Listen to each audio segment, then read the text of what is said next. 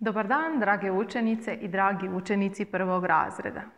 Dobrodošli u i nastavu za srpski jezik i kulturu. Moje ime je Dragana Inđić i radim kao profesorica i knjižničarka u Srpskoj pravoslavnoj općoj gimnaziji u Zagrebu, a danas ću biti vaša učiteljica i obradit ćemo jednu pjesmicu. Odgojno-obrazovni ishodi. Učenik razumije pročitani književni tekst, izražava svoja zapažanja, misli i osjećanja nakon slušanja teksta i povezuje ih s vlastitim iskustvom. Kazuje o čemu tekst govori i prepoznaje književne vrste prema obliku u skladu s jezičnim razvojem i dobi. Potrebni pribor za današnji čas je sveska, pribor za pisanje, olovka i gumica i bojice. Draga djeco, za početak recite mi znate li vi možda razliku između pisca i pjesnika? Pisac bi bio čovjek koji piše knjige, priče, pjesme, a pjesnik je pisac koji piše samo pjesme. Jeste li čuli za pjesnika Ljubivoja Rošumovića? Vjerujem da jeste i da ste već možda čitali neke njegove pjesmice. Ljubivoj Ršumović je bio poznati srpski dječji pisac. Objavio je preko 80 knjiga. Uređivao je i televizijsku emisiju za djecu pod nazivom Fazoni i fore. Neke od njegovih pjesmica su A u što je škola zgodna, jednoga dana, žablja basna, domovina se brani lepotom, a ždaja svom čedu tepa. Pa za početak, hajde da riješimo jednu kratku ukrštenicu da vidimo o čemu će se to raditi u našoj pjesmi. Pod brojem 1 nam piše kad je čovjek slobodan, to je... Kako zovemo to kada je čovjek slobodan? Sloboda. Tako je. Pod broj 1 upisat ćemo sloboda. Što vidimo na slici broj 2? Znate li što je to? Znate, to su planete. Tako je. Pod broj 2 upisat ćemo planete. Što vidimo na trećoj slici? Tako je. Na slici pod brojem 3 vidimo cvet. Upisat ćemo cvet. Pod brojem 4 piše kad nekoga volimo, to je... Što je to kad nekoga volimo? Pa ljubav, naravno. Upisat ćemo ljubav. Pročitajte rješenje. Rješenje su deca. Bravo. Naša današnja pjesma govorit će o djeci.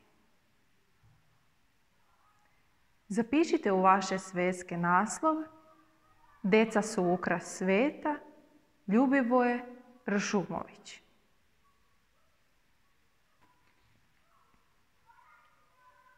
Ako ste zapisali, poslušajte pjesmu.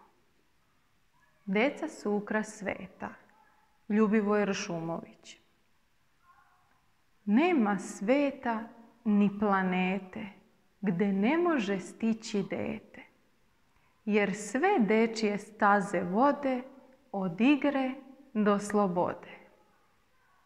Cveće je ukras bašte, leptir je ukras cveta, a deca puna mašte, deca su ukras sveta. Lepe pesme, tihe tajne, sve ljubavi važne sjajne. Neka planu, nek se rode od igre do slobode. Cveće je ukras bašte, leptir je ukras cveta, a deca puna mašte, Deca su ukras sveta. Draga djeco, kako vam se svidjela ova pjesmica? Je li vam jasno o čemu govori pjesma ili vam je malo manje jasno? Recite mi, jeste li pronašli nekakve nepoznate riječi u pjesmi? Znate li što znači bašta? Bašta bi bio nekakav vrt sa travom i cvećem. A znate li što je to mašta? Vjerujem da znate. Mašta je nešto zamišljeno.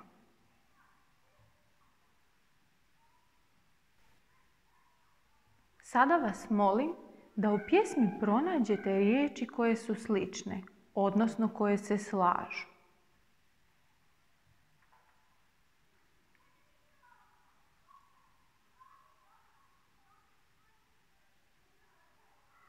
Nema sveta ni planete gdje ne može stići dete. Što nam se slaže? Planete i dete, tako je. Jer sve dečje staze vode od igre do slobode. Što nam se slaže? Tako je, vode, slobode. Cveće je ukras bašte leptir je ukras cveta, a deca puna mašte, deca su ukras sveta. Što nam se slaže u ovom dijelu pjesme? Tako je. Slaže nam se bašte i mašte, cveta, sveta. Izvrsno.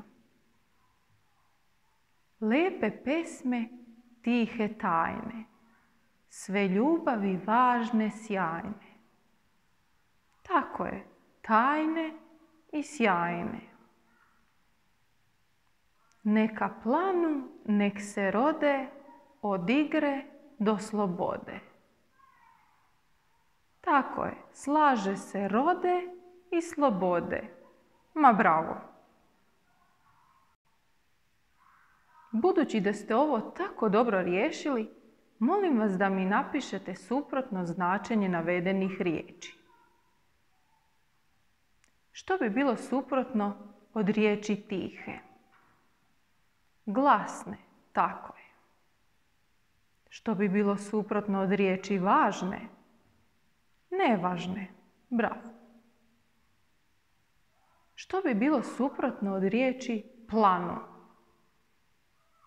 Ugase, tako je. Što bi to bilo suprotno od riječi ljubav? Mržnja, da. Znate li što bi bilo suprotno od riječi sloboda? Razmislite malo. Suprotno od slobode bi bilo ropstvo. Izvrsno.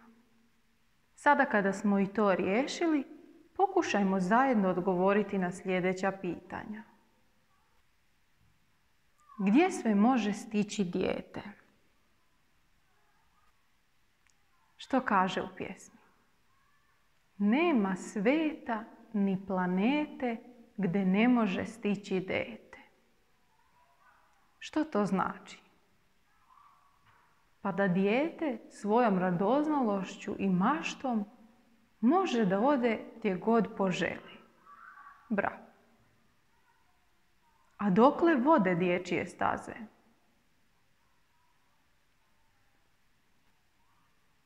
Dečje staze vode od igre do slobode. Pa baš zahvaljujući dječjoj mašti nema granica u njihovoj igri. Šta je ukras bašte? Cveće. Tako je. A šta je ukras cveta? Leptir. Bravo. Znate li vi meni reći kakva su to djeca? Što je to zajedničko svoj djeci? Pa sva djeca su radoznala i maštovita i vesela, jel tako? A šta djeca vole da rade? Šta vi najviše volite da radite? Sigurna sam da najviše volite da se igrate, jel tako? I uz to da maštate i oživljavate sve ono što se nalazi u vašoj igri. Lutke, autiće, drugare. Kako deca mogu da budu ukras sveta? Pa baš svojom maštovitošću, radoznalošću i veseljem djeca ukrašavaju cijeli ovaj svijet. Draga djeco, koja bi bila tema ove pjesme?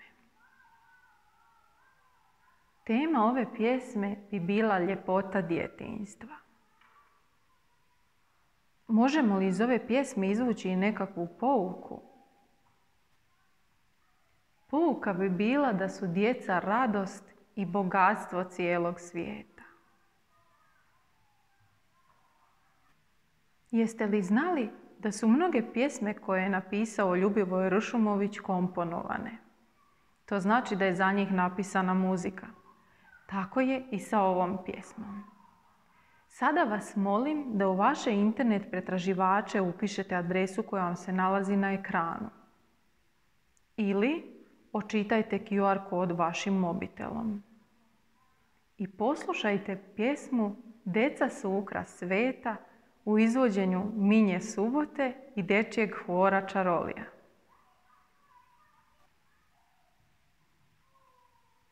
Jeste poslušali pjesmu? Vjerujem da ste već počeli i pjevušiti. Odlično. Ostala nam još samo domaća zadaća. Za domaću zadaću nacrtaju svesku sebe i svoje drugare u mašti i igri.